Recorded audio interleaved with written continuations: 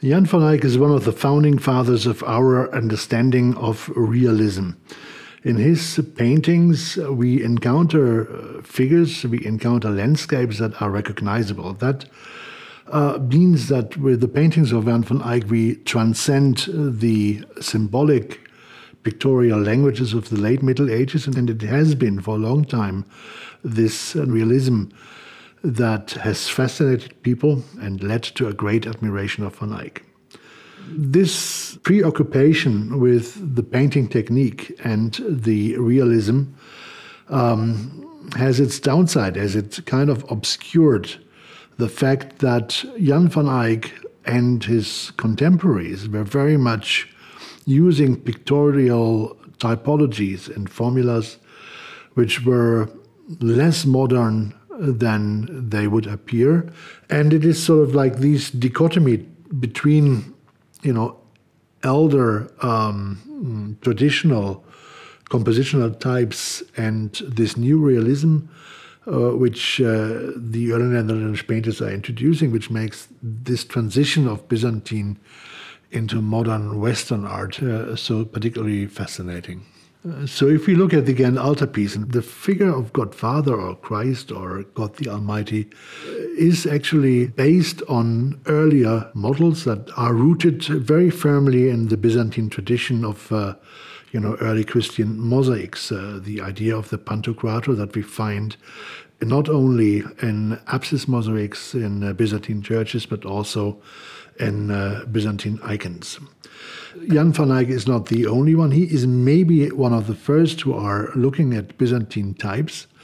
But other painters like Rogier van der Weyden, like um, Robert Campin, the so called master of Flémalle, Hans Memling, Dirk Bouts, they all, at some point or the other, are repeating these kind of um, Byzantine icons, not only because they are fashionable in that way, but also because they wanted to increase the um, authenticity of the image uh, towards the audience. So, in a way, you could argue that the emulation of Byzantine uh, models uh, added uh, a new dimension to the artworks, an almost uh, yeah, intangible dimension. These images were venerated and um, believed to be containing powers and to relieve people from their sins.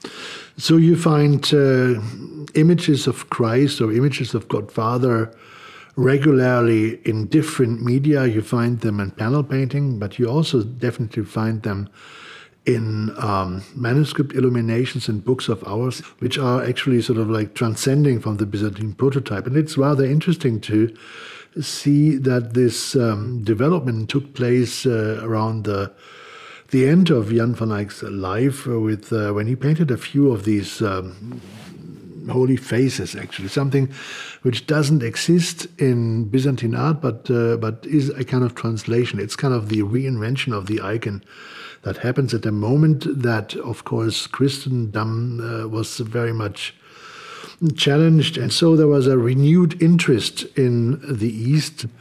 And it's kind of interesting that um, from the image of the Holy Face, images of the Sudarium became popular. You know, Vera, Veronica, which is, is a literal translation of the of the true icon, the Vera icon, um, uh, is sort of like becomes like an iconographic vessel that is used to promote the image of the uh, of the face of Christ. There are few of these images, you know, um, images that um, transcend from the tradition of the Imago Pietatis, that of the Man of Sorrow, which is of course another of these kind of iconic images that um, that um, were introduced uh, by Italo-Byzantine icons uh, spread within Italy up to the north. That is the Man of Sorrow. Of course, shows the body of Christ in the state of torment and presents um, the Son of God in a, yeah, in a, in a transcendental position between death and uh, resurrection. And so what happens is that the image of the Imago Pietatis becomes And that's another transformation of an originally Byzantine type into Western iconography, becomes like um, an image that is associated with the Mass of St. Gregory. Now, the Mass of St. Gregory um, is an image that uh, concerns the um, the doubts uh, that were raised by the father of the church, uh, Saint Gregory, that transubstantiation was actually something real, something which became um, one of the central points of discussion in uh, Protestant thinking with Luther and Zwingli, etc., etc., and that uh, the man of sorrow, uh, you know, it appears uh, during the mass and sort of like uh, really uh, bleeds from the stigmata and into the chalices, and and thereby sort of like gives credibility to yeah one of the central um, central uh, liturgical uh, moments in the celebration of the Mass. But the transformation of images that were developed in uh, the East um, was not restricted to images of Christ alone, but also included um, images of the Virgin. Jan van Eyck, in, in many of his uh, Marian paintings, uh, deliberately harked back to specific icons.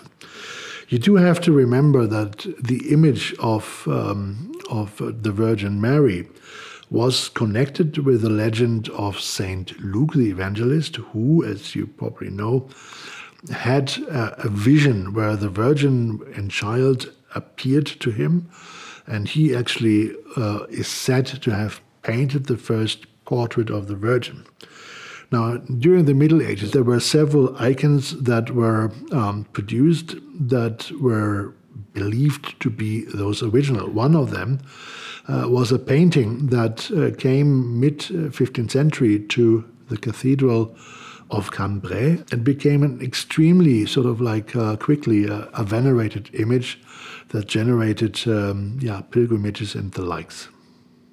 If you start looking around with the image of Notre Dame de Grace in mind, you recognize that there is a there are hundreds and hundreds of images of the most superb qualities by artists such as Rogier van der Weyden, Dirk Bouts, uh, Hugo van der Goes, who all um, copied that very image um, um, in their own way.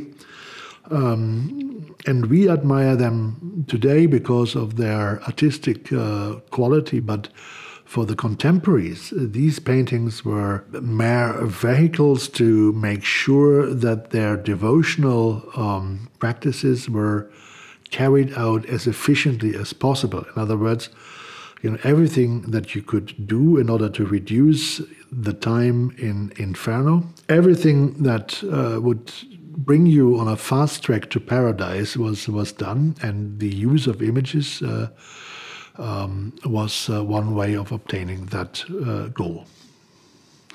Another interesting examples in this uh, in this context is Jan van Eyck's Madonna at the Fountain. This painting was apparently particularly popular. There are several other copies and replicas made between, say, 1450 until the early 16th century by artists um, as diverse as uh, Gerard David or Adrian Isenbrant or Quentin Massys, or the master of the Andre Madonna, or you name it, that the reason that this image was so popular is most likely that it had an indulgency attached to that. So it's it's very much um, you know, a, an extremely interesting uh, cultural phenomenon that not only means that specific uh, images are coming from the east to the west, that are adopted in the west, and while they are adopted, they're also changing functions, but also that they actually become a vehicle um, to demonstrate artistic skills that have been previously um, not at the forefront of, uh, of these um, artistic endeavors.